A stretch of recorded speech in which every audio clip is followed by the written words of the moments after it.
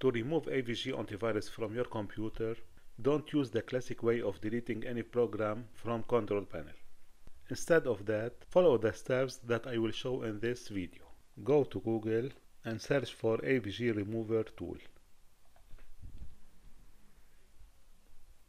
Make sure that you select the official website. Select download. Now download is finished. Now I will run the tool.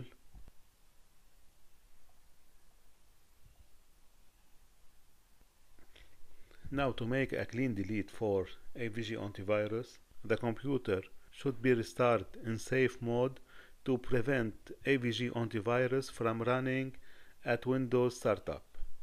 Click yes.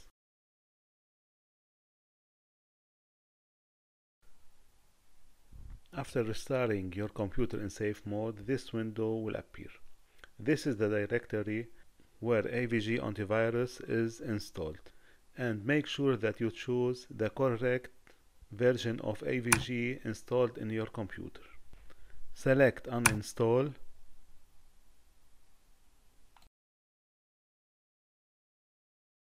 and now select restart computer to exit safe mode.